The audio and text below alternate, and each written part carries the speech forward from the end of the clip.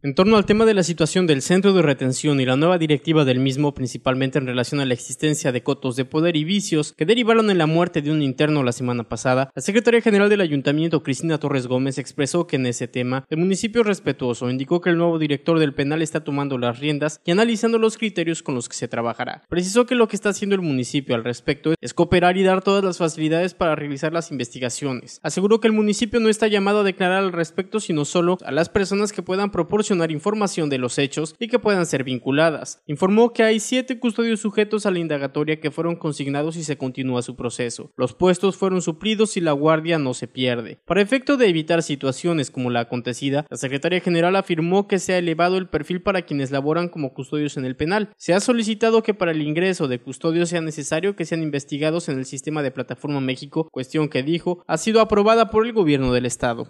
Hemos solicitado que para el ingreso de ellos también sea necesario que los pasemos como los policías, como Plataforma México.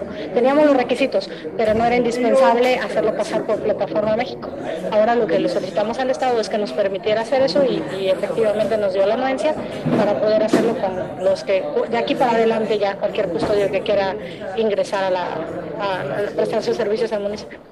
Manifestó que es pronto para especular sobre la existencia de cotos de poder en el penal y que el nuevo titular está trabajando en esas investigaciones. A decir de Torres Gómez, el reglamento prevé la administración de castigos y lo que hay que ver es que la aplicación de ese reglamento sea la establecida sin excesos ni privilegios. Ese fue el encargo que dijo se le hizo al nuevo director. Finalmente informó que la nueva administración del centro de retención está realizando una evaluación para poder definir las acciones a tomar. Con imágenes de Héctor Heredia informó para Notivisión José María Tinoco.